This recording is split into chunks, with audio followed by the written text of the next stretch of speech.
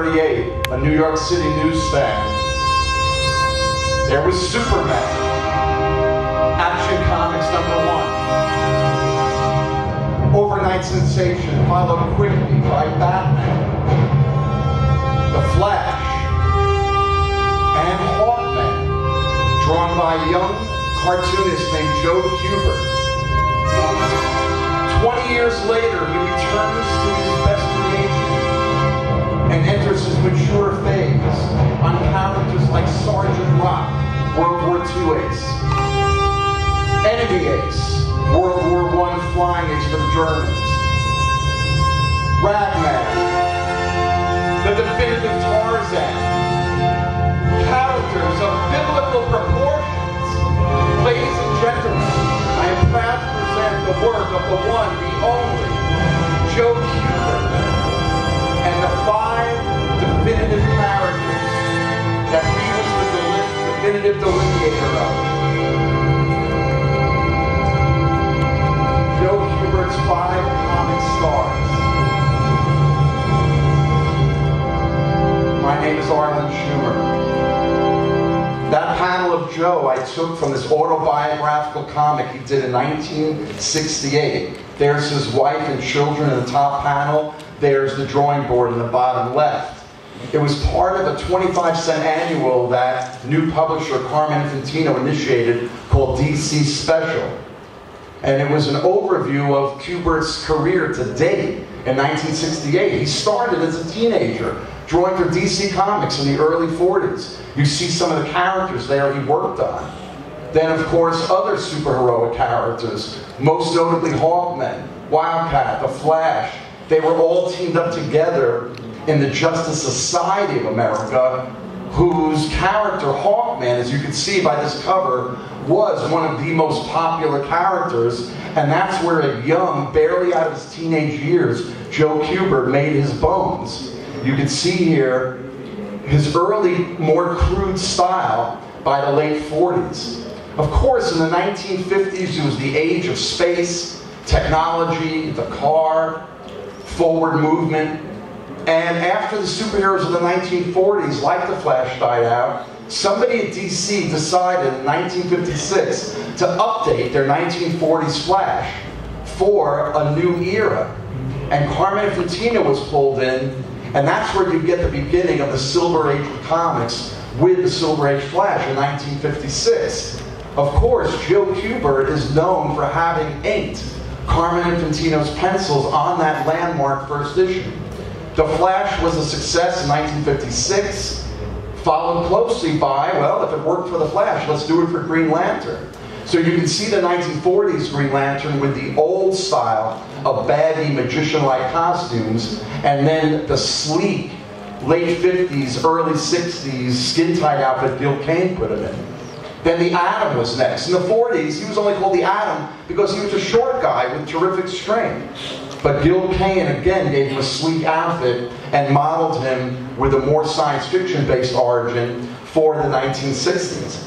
And just like in the 40s, all the DC superheroes banded together to form the Justice Society, so too did Julius Schwartz, the editor, bring them all together in the Justice League of America. So with all these new DC techno heroes success, it seemed like the next one up would be Hawkman, who by the time Kubert stopped drawing him in the early 50s, had lost the wings on his helmet and even the hawk nose, and other than the wings, had become more of a standard superhero. But during the 50s, after the superhero died, Kubert made a name for himself with his Tarzan-like character, Tor, which gave him more of a savage look and brought out his more mature style. He went to DC in the later 50s and started drawing this character, Viking Prince, who again brought out the more savage style of Kubert, which he brought in this initial character sketch to his designs for Hawkman and Hawkgirl. And you can see in this Viking Prince cover, when we move in close up, you can see how that energy transferred to his new Hawkman. Here's the black and white original art to issue number one.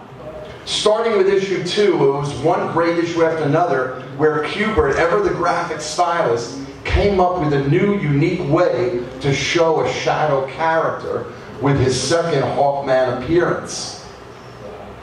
Here's the third one. And of course, flying and designing his panels to reflect that, he started to use more vertical panels. This is where the mature Joe Kubert style starts to emerge in the early 60s with panels overlaid a more bigger, a, a, a larger background panel to get across that feeling of space and movement. Look at this original art and how it became this cover. This was a year later. They decided to give Hawkman his wings on his helmet so you could see how his appearance changed. And you could also see, again, the deep space that Kubert started to bring to his pages that we'll see later in his Enemy Ace World War I work. But here it's on display in Hawkman. My favorite cover were these early 60s wash covers that DC Colors Jack Adler would render over the penciler's pencils. After this issue in 1962, Kubert never drew a full-length Hawkman story ever again. When they gave Hawkman his own title, the great DC Silver Age artist Murphy Anderson took it over. And while his Hawkman, many people love, kind of like the equivalent of John Romita's Spider-Man, there's still something about whenever Kubert would stop and draw Hawkman, like later in the 60s, he showed that he owned that character. When they teamed up Atom and Hawkman because of low sales and put them in the, in the same book, Kubert brought back the uh, Gentleman Ghost, who was a character from the 1940s. And you can see the way the character was used. Again, I love these examples of original art. God bless the internet now, you can find and create transitions like this. And over the rest of the 60s and the 70s, whenever DC Comics would need a piece of Hawkman art, invariably Kubert would stop and do it.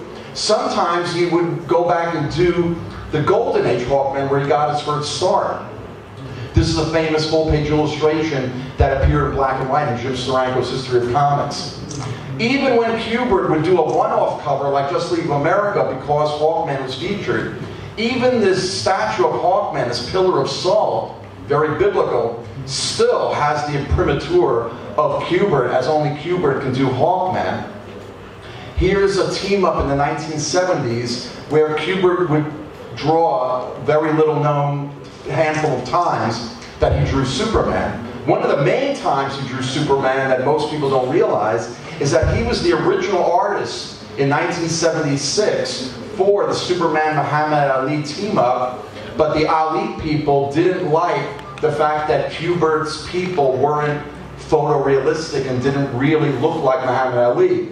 So here we see the black and white inked art of Neal Adams, who took the project over, but maintained Kubert's strong layout. And here's the finished color version as well.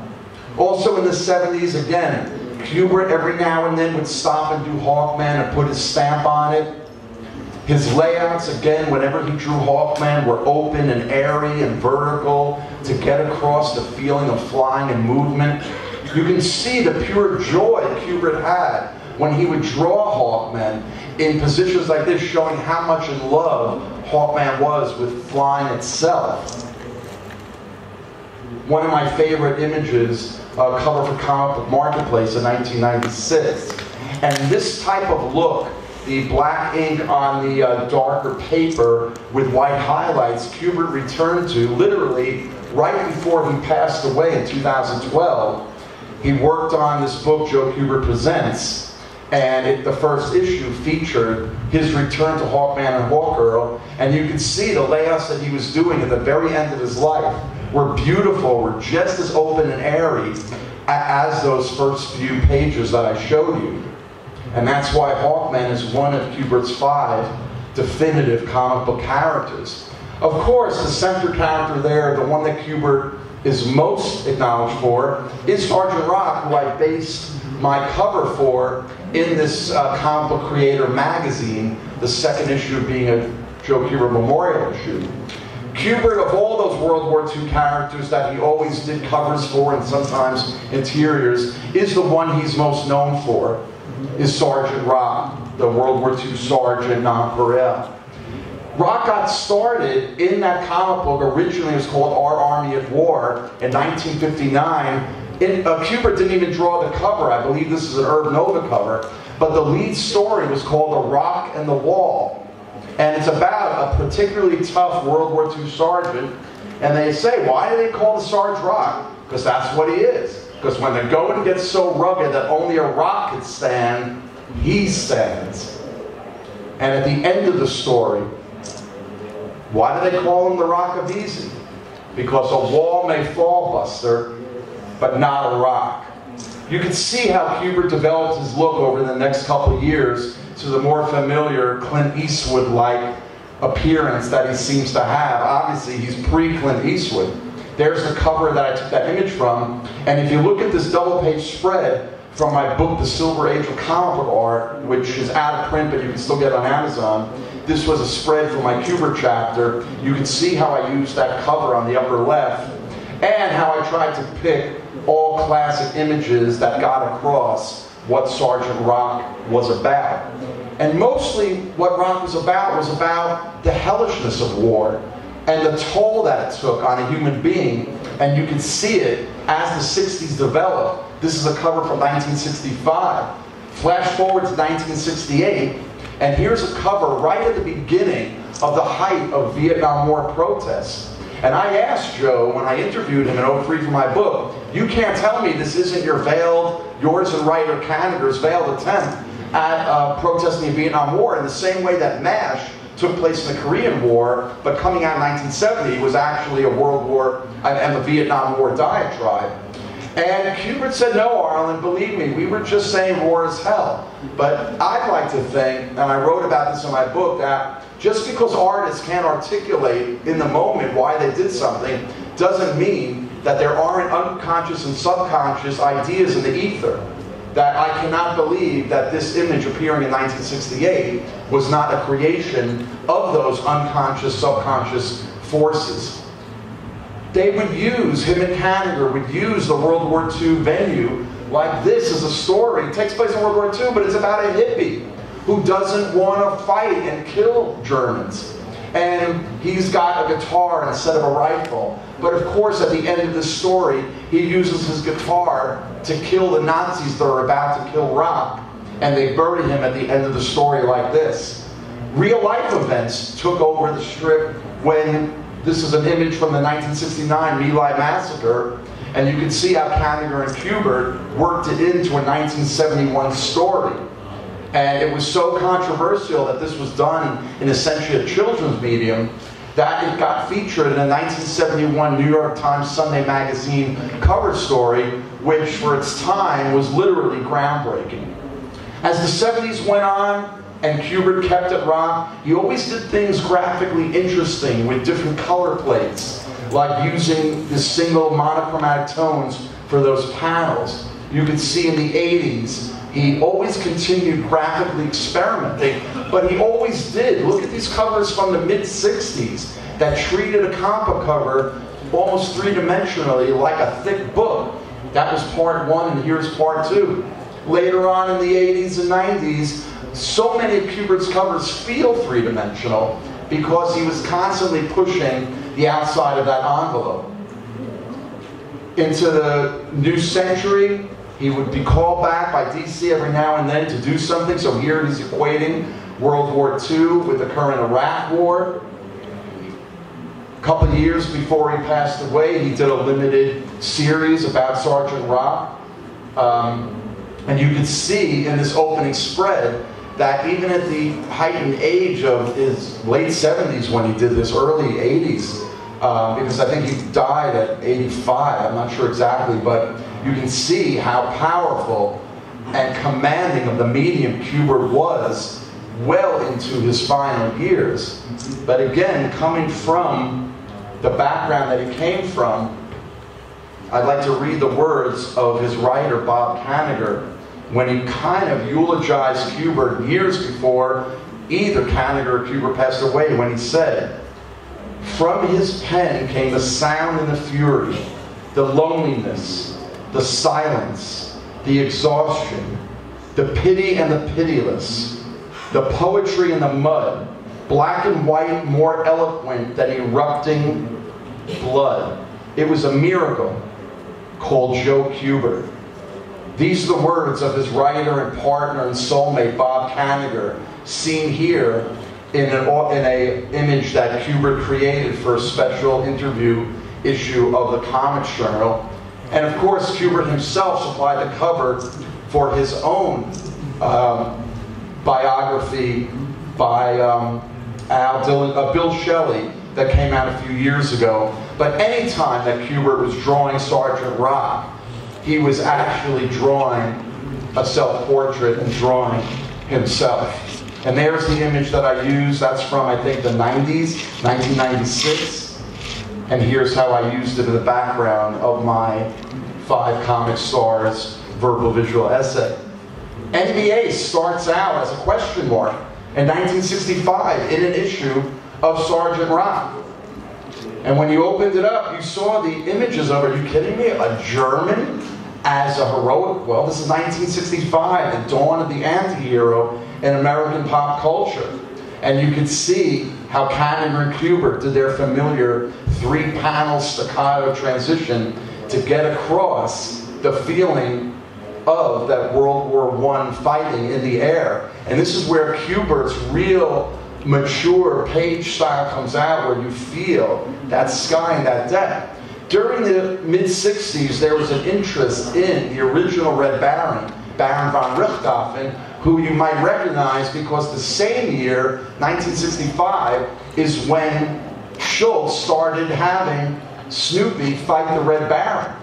So Kubert, of course, and Kanigher took that idea and gave it an utter realistic touch, creating in 1968 one of the greatest comic book covers of all time. In fact, all of the images that Kubert creates for Ace between 68 and 70 are truly among his, the greatest images he ever produced.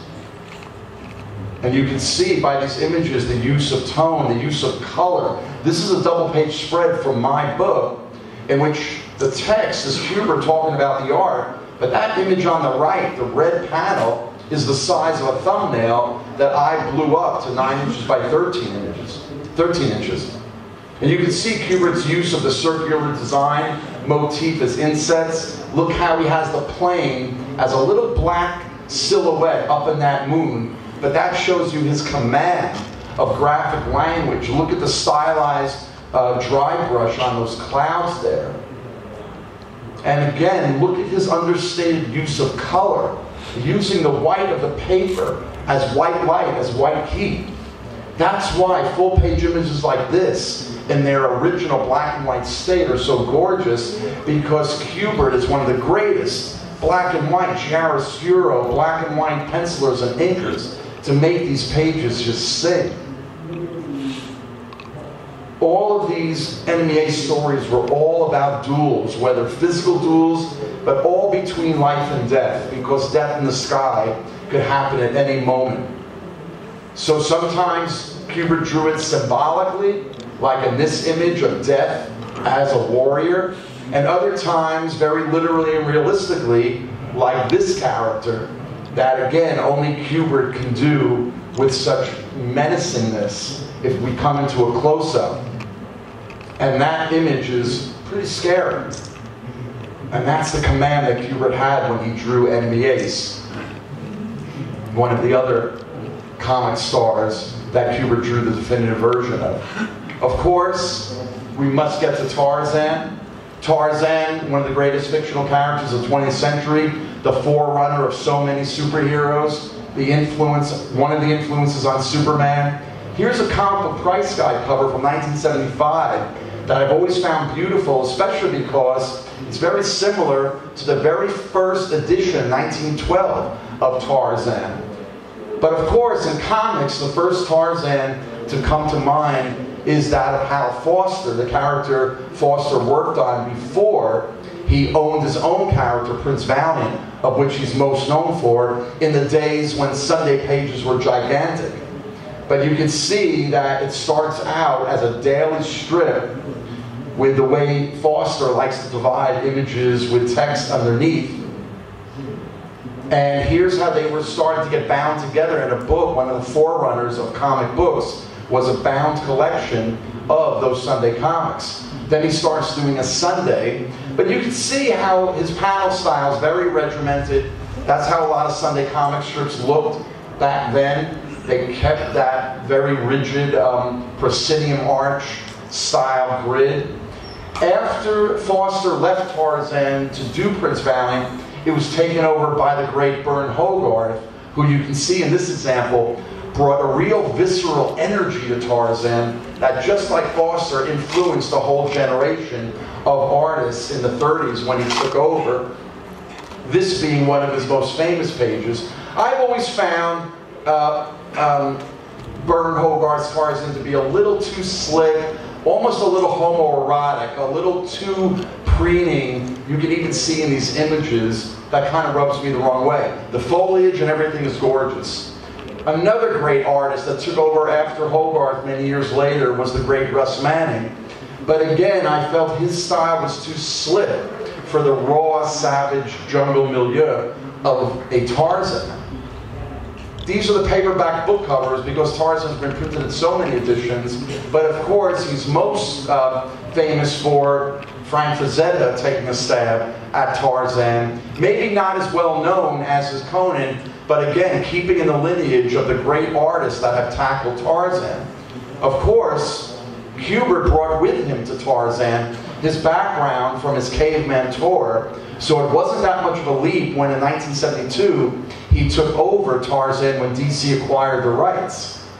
You can see how he paid homage to his hero Hal Foster because again, Kubert is from that generation where everybody was influenced by the big three realistic artists, Foster, Caniff, and Alex Raymond. But I've always felt that Kubert's style is definitive because there's something about the savageness of his pencils that only he made, those marks that not only paid homage to the Foster that preceded him, but he took it onto a comic book page. And you can see how Kubert balances his drawing with his page design. Of course, here's with color added. Very similar to one of his peers, Jack Kirby. If you just look at that page and look at a famous Captain America page, you can see that both men were experts in kinetic dynamic energy.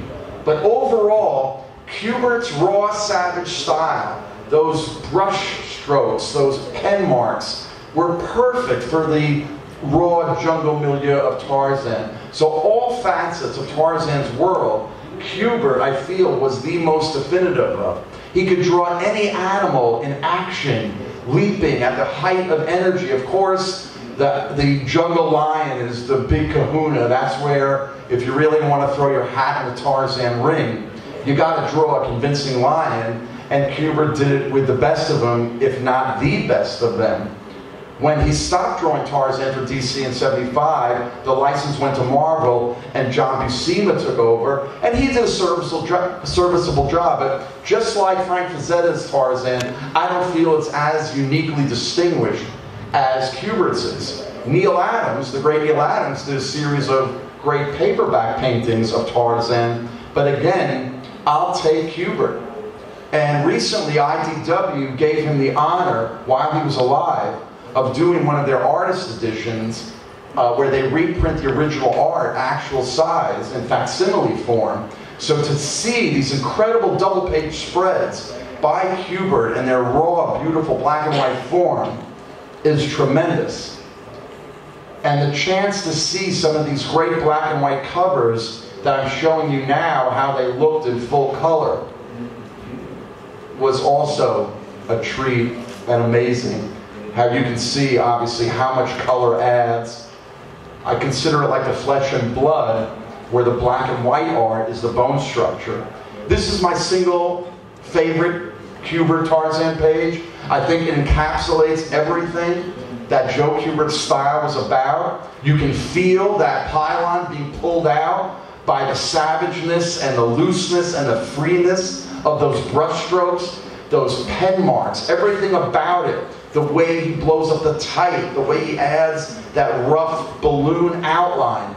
Everything about it, I consider this page, along with Ditko's classic page of Spider-Man overturning machinery, I would say this is Kubert's hat into that ring. Because you could see what a deft penciler was even in the thumbnail sketches that he did of Tarzan. So it was no wonder that in one of those treasury editions, he did the classic How to Draw Tarzan. And that's because he is the definitive Tarzan image maker. There's no one else that created such a distinctive visage as Joe Kubert did for Tarzan, and that's why I chose that image to figure in the five characters verbal visual essay. The last character is an odd character, Ragman, created in the mid 70s with writer partner Bob Kanigher. Ragman. The first issue comes out of nowhere. In those days, there was no advance news. We saw this at the newsstand. What an interesting logo. And wait, where have we seen that face before? It's Kubert paying homage to himself when he pays homage to that classic Ace cover with this Ragman cover. He was called the Tattered Tatterdemalion. And he came out of the junkyards and the rag trade of the New York City that Kanigher and Kubert both grew up in, in Brooklyn and Manhattan, schlepping literally back and forth. In the first couple issues, another artist drew it, and Kubert came in and gave the classic Ragman origin. Something to do with his father was a junkyard dealer, and they owe money to the mob, and they get all the guys together, and they get electrocuted, but classic comic book lingo, he touches the, the uh, electricity, and he gets the powers kind of of a superhero. I think super strength, he couldn't fly. But basically, if you look at that bottom panel, Ragman was Kubert getting to do Batman. You know, back in 1966, when Infantino, the regular Batman artist, was busy doing promotional artwork for the TV show, Kubert was called in for a series of three covers that are either loved or disliked by Batman and Kubert fans. I happen to like them and always wished, wow, what would happen if Kubert actually drew Batman instead of those couple covers? So in 1976, if you look at these Ragman pages, you can basically see Kubert having a blast doing his take on Batman. And these pages remain some of Kubert's best action-oriented hero strips, considering he didn't do a lot of costume heroes. But Ragman is it. He did one more issue that had this incredible silent story that he only tells about in pictures, and it's about grave robbers who come to get some treasure out of a buried grave. Ragman comes by, the heavenly symbolism of the angel looking over. And Kubert was a master storyteller. You don't necessarily need dialogue. But this is how Ragman lives on post Kubert at DC Comics. They've connected the connection between the Jewish tailors and being in the fashion trade, the rag trade, with their persecution in Europe during World War II. So Ragman becomes almost an avenging angel of the Holocaust that was only hinted at in Kubert's version. In fact, whenever Kubert did do his war comics, DC stayed away in the 60s and 70s from any overt imagery of the Holocaust. It wasn't until the late 70s in a title called Blitzkrieg that, again, just like Enemy Ace, featured stories from the Nazis' point of view. It only lasted a couple of issues, but this is where Kubert's consciousness about his Judaism and about the Holocaust begin to appear. During the 80s, he does pro bono work for a Jewish organization in Brooklyn, and they adapt Bible, Old Testament Bible tales. Then, post Will Eisner, Kubert starts doing graphic novels in the 80s and 90s and the 21st century. Abraham Stone is a semi-autobiographical graphic novel about growing up in the New York City tenements that Kubert grew up in. Then he does a masterpiece called Yossel, totally done in black and white pencil, that surmises what if he had been left behind when he, born in Poland, escaped right before the Holocaust hit in 1939. So Yossel is a graphic novel that he tells from the point of view of himself as a child artist who, what if he had stayed behind and been trapped in the Warsaw ghetto and fighting? And if you've never seen this graphic novel, really seek it out because the artwork is just gorgeous, reproduced totally from Kubert's uh, pencils. And in this one-off image that he did in 2007, again, you can see Kubert's consciousness about the Holocaust coming through. It also illuminated yet another autobiographical graphic novel he did called Jew Gangster, about what it was like to be a teenager growing up in the rough and tumble air, um, areas in New York City and Brooklyn where the Jewish gangs, the Jewish mafia, held control. This is where Bugsy Siegel came out of before he went out to Las Vegas. But none of this would have been possible had Kubert not been exploring these themes early on with Ragman, and that's why Ragman, for his uniqueness and for the role he plays in Kubert's career, takes that honored fifth place in my verbal visual essay. This appears in the second issue of Comic Creator magazine, which came out in the summer. That's a cover by Sergio Cariello that pays homage to one of the famous Sergeant Rock covers that equates the World War II soldier, a modern day savage, with the caveman, once again, to get across the feeling of what war is really about. But I tried to equate the two in my six page verbal visual essay. Here's the opening spread, where you can see how I mixed imagery. I only had six pages, so I chose five characters, when of course Kubert has many more. But these were the five I isolated, so I decided to put um, Tarzan and Sergeant Rock on the same spread because of that cover in the lower left corner. You turn the page and you see this double page spread, and you can see how I worked in the Ragman imagery and even the Batman cover on the upper left and that classic Ragman cover in the lower right. For the last page, I took that great Kubert Hawkman and I added around it the beautiful covers that to this day are the only six full-length comics of Hawkman that Kubert did, and yet they remain the high watermark for the character.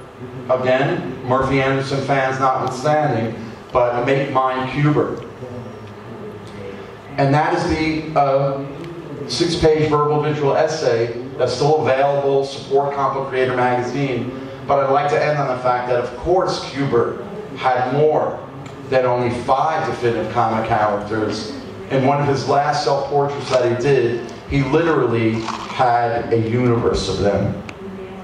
Thank you very much. Oh my God, on time. I can't believe it. I could have done more. I could have done more. Showing. Fitting, right, for the subject matter. Okay, we can have the uh, lights up. And um, I'll take, uh, since we have plenty of time, I'll take any questions or comments. Can we get the lights up? Yeah, I'm looking for anything.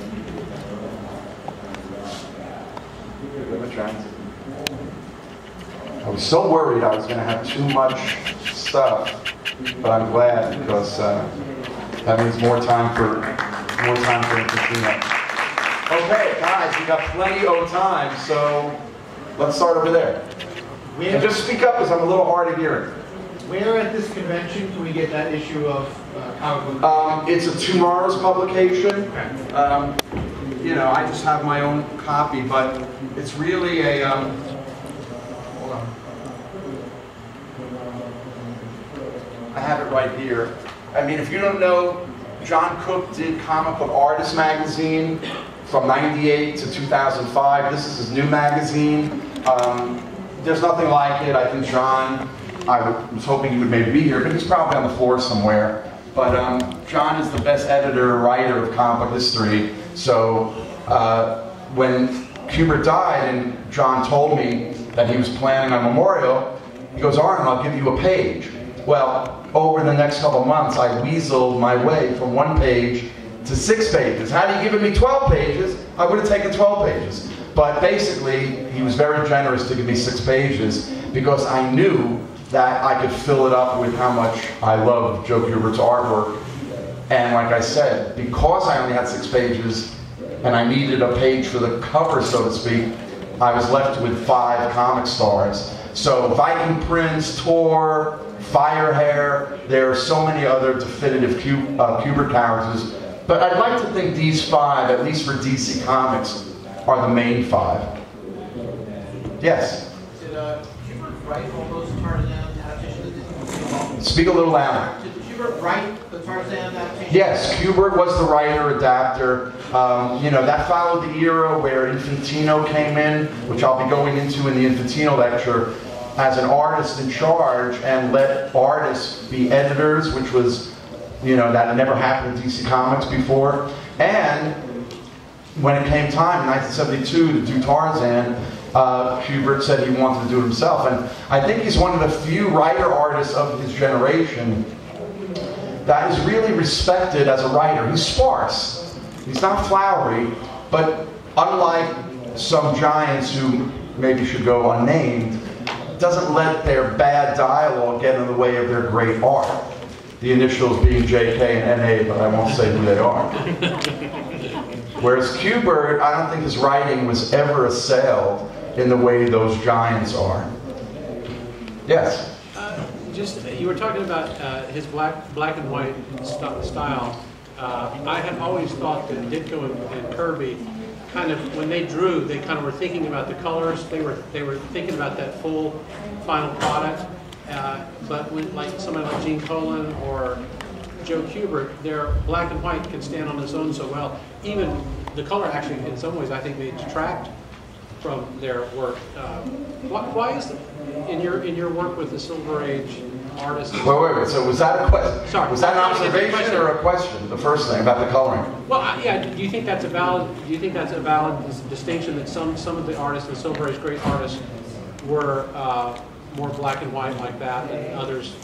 Well, I think what you're saying is that Kubert, and again, if, no, if I had more time, and now that I know I have more time, I'll build this in the next time I lecture on Kubert, which will be for the new school, October 28th, Ben Katchor's Comics and Picture Story Symposium. So maybe I'll add these. But Kubert worked for color. He left space open. He knew what might look in black and white as empty and barren when Kubert would color it or indicate color. He really made great use of color. And like I tried to show in some of those examples, you know, he used monochromes, he used open space, he used the white of the page, which is, you know, a beautiful thing to know how to do, but you have to be an accomplished artist to realize when to use it and when not to use it. But your second question, something about the Silver Age? Uh, well, I, I was just thinking that, that some artists were, were better at that than others, and I was just wondering if you had any idea as to why some go down that road and some go down the other road. Was there a question there? Remember, I'm a little hard of hearing. Was there a question there? Ju- Just pass on. Okay. Security. Anybody else? Yes. So uh, regarding, Okay. yeah, re- regarding the big three uh, original um, comic strip illustrators, Hal Foster, Ray- uh, uh, Caniff and Raymond, yeah. Um, which do you think uh, in the early days of DC, because lots of them had a sort of, kind Caniff-like house style um, in, in the books, but I'm just wondering, which do you think that uh, Kubert drew from the most? And Well, can Kubert, speak, speak about Kubert, Kubert mostly comes out of Foster. You know, it's funny. Murphy Anderson comes out of Alex Raymond, a little sl- slicker, that feathering. So when you look at like Murphy Anderson's Hawkman versus Kubert's Hawkman, you can see. You know, even though Foster was very slick with Prince Valiant, it's that Foster Tarzan that really affected guys like Kubert and Frank Frazetta when they were young. But guys like Frazetta, I mean, you couldn't help but be influenced by all of them, the, the big three, if you were interested in realism. And you tended to, you know, go towards one artist or the other, depending on, like I said, Murphy Anderson went more Alex Raymond, whereas, you know, Kubert went more Hal Foster. Yes? Yeah, uh, how did you get your information? I mean, you were just, I mean, clearly you did your, you did research online, but it seems like the stuff you know too. Well, you know, I think, I like to think, if you grew up loving comics, and there wasn't a lot of history, I mean, God bless Jules Feiffer's book, God bless, you know, the couple things, you know, Steranko's volumes are still brilliant. But if you loved comics, I think you just naturally sort of was interested in the history. It's like loving rock and roll and, you know, knowing the history of rock and roll and blue suede shoes and all that stuff versus just whatever's current. So I think comics, like rock and roll, were this outlaw form, so the history was always fascinating. Beyond, you know, what pendants do they use and what, you know, we want to know that shit too. You know, that was like the holy grail when it was revealed that they used Winsor Newton Series 7 red sable brushes to dip their ink in. But then you'd be a kid, you'd go to the art supply store, you'd get that brush. Somehow the marks you made didn't look anything like the marks the pros made, even though you had the same tools. But that's like, you know, a, a Reebok's making you play basketball better. It doesn't happen. But, uh, you know, I did my book, The Silver Age of Comic Art, which I have a copy to look through. Um, literally a lifetime of amassing information, obviously in the days where there was no internet and, you know, you had to get them out of fanzines and things. But, um, you know, nothing I think that I parlayed here is any big secret. I mean, it's all there.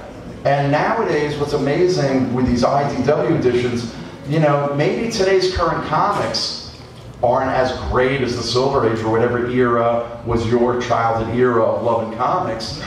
But man, the, the, the reprints and the limited editions and the things, you know, we didn't have that stuff.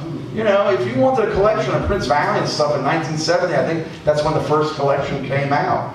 But I mean, you know, in those days you had great comics, but no source, you know, no beautiful hardcover reprints of comic strips and all stuff. Nowadays, the pendulum swung in the other direction, where you have incredible high cost, high price, you got to save your money to buy them kind of things. But like that IDW edition of the Kubert stuff, if you're a Kubert fan, oh my God, it's it's unbelievable.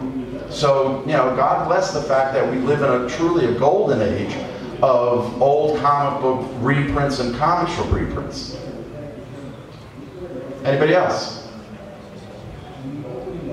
Yes. Is there anything you'd like to see uh, IDW by Kubert in particular? Any particular other runs you might want to see? Is it, say it again? Any other uh, uh, arcs or runs or what have you that you'd like to see IDW? Well, you know, it's all dependent on what they have original art for. You know, like the Firehairs are gorgeous. Um, and again, maybe uh, when I do the lecture October 28th, if you email me, arlenschumer.com, it's all posted on my site. Um, anybody that wants, when I'm done with both lectures, I've got freebies to hand out, business card. But, you know, I'll add a thing about Firehair and about how those pages, if they exist, and there was only a limited number of them, they would fit like a complete Firehair volume would be beautiful. On the other hand, what's really great about Firehair is the Ben-Day old school newsprint coloring. So while I like the black and white Firehair art, to me, what really needs to be done is a giant size full color archival version reproduced right from the newsprint originals. You know, given what I just said about the archival reprints, I gotta tell you, when they reprint these old Ben-Day newsprint comics on this bright white paper and they change the coloring, that's not what I do. What I did in my book was I took the original Ben-Day newsprint originals, I scanned them, and then I treated them like a color restorer would. Like when they go to, you know, clean the Sistine Chapel. I kept that newsprint look. I kept those Ben-Day dots. I just made the white paper. I don't go for that yellow look because that's not what the original colorists intended. They wanted white paper. But I give it the newsprint white and I make the black black. So if you look at any of the uh, reproductions in my book, let me find the Kubert section. You know, these repros are based on the original newsprint colorings. And I, so I recommend to people, if they're getting, you know, these Kubert comics, you can find most of them in readable versions in the five and ten dollar boxes. And, you know, again, this is specifically for those newsprint comics of that era. Invariably, it's the way they were transmitted to us, the readers, on newsprint with those colors, slightly off register. But that's the beauty of them. Whereas the new reprints on the harsh white paper with the computer coloring, they don't cut it. So yeah, if you can't afford to scrounge around and find all, you know, 12 enemy aces in $10 reading copies, fine.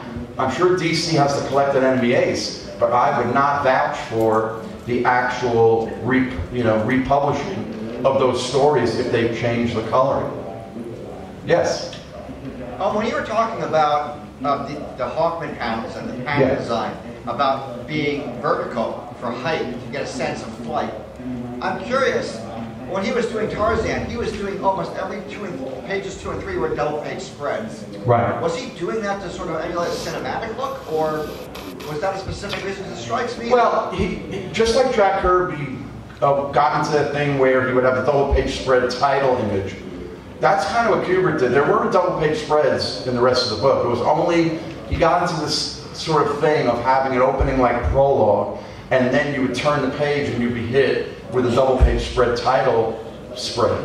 And that's what those were. But yeah, I think the jungle was horizontal. It calls, so a lot of Kubert pages are horizontal because that's the jungle. It's land. It's horizontal. It's the horizon line. Whereas his Enemy books and his Hawkman books are vertical panels to get across that. Uh, when I do my Infantino, if you stick around, um, you know, the flash panels were all about running. So they were long, low, horizontal panels. It wasn't about flying and vertical. Yes? Um, It's funny, because I give, in my mind, I give Marvel and Kirby credit for a lot of that experimentation with panels in the sixties. You Yeah. think it's more Kubert or all or- No, no, no. You know, again, Kubert was a traditional storyteller. He didn't do flamboyant but like if you saw, he was known for that staccato three-panel transition, which is really came from the writer Bob Kanigher. He wrote that way, and everything when you're designing anything is in threes. You know, beginning, middle, and end. Everything is threes. So that whole way, that's really what Kubert sort of specialized in because of Kanigher. But Kubert, like the Jack Kirby's and the Gil Kanes, they come from a period pre-cinematic page layout, the Neal Adams, Jim Steranko. They come from what I call the proscenium arch school of storytelling, in which, like with Steve Ditko, the panels are just there, they're like a grid, it's all what's going inside the panel. But within that, Kubert did develop a look that he was able to teach to you know, a whole generation of students. You know, that inset panel where panels are floating, like I tried to show in the beginning there. So again, for another lecture and more time, I, I can get in depth into those aspects, which, you know, should be discussed. Well, let me just say with the closing statement, the way I feel about Kubert and to a certain degree Infantino and all the other giants from the Silver Age. I really feel that the way we as art historians look back on the Renaissance masters of the human figure 500 years ago, like Da Vinci and Raphael and all those guys, the usual suspects, I truly believe that we have been living amongst giants of the human figure in our time. And that 500 years from now, art historians or aliens or both will be looking back on a master of the human figure like Joe Kubert who made pen marks and brushstrokes. God bless his sons, they're carrying on the Kubert tradition.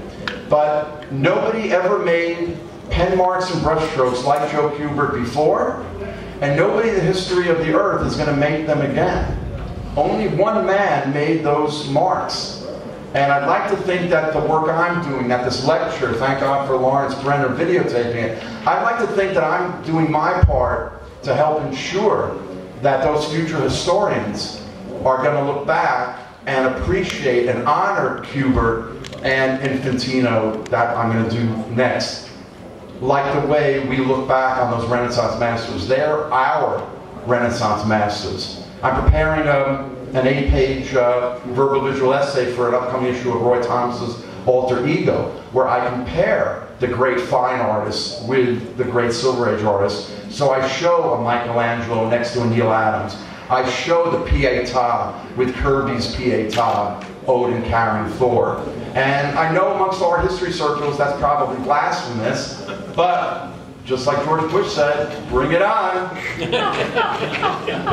so listen, should we just uh, launch into, I mean, you tell me, oh, we have to wait because people are actually thinking, boy, I got to tell you guys, this is the first time in my years of lecturing at these conventions where I have room to breathe. Usually, I'm, you know, I'm going over, but I think this time I was so scared of going over that I actually edited down way beyond where I thought I needed to be. So, um, like I said, uh, if you email me or go to the site, if you're familiar with Ben Katchor's Picture Story Symposium, he has every Monday night at the New School, Parsons, at 13th and 5th.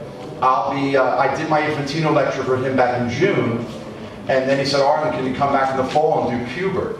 So I'm doing this same lecture, but, I, but I'll have more time. I think I'll have an entire two-hour evening, uh, Monday the 28th of October. So anybody here that makes a mental note of that to come, I'll get to add to this Kubert show some of the things that we talked about, like the Firehair and the World War II stuff. And basically, uh, I have a whole file of you know unused Kubert that I'll be able to fill out for those two hours. So, I think we're going to shift gears and talk about Kubert's um, compatriot and peer, Carmine Infantino. Um, it's funny. Uh, yeah, no, I'm just going to talk about it loosely before we get going. It's interesting that Hubert would die in 2012 in August, and then Infantino would follow him this past spring. And their careers were intertwined, their styles were intertwined. You know, they both drew uh, The Flash, that very first one they collaborated on. So you know, just like John Adams and I think Thomas Jefferson both died on July 4th, the same year, right? Who's a history buff here? Am I right? Didn't they die July 4th of all days and the same year? So, in a way, uh, Infantino and Kubert um, uh, had that sort of parallel um, history with them living and dying and working together, and their careers were, were intertwined.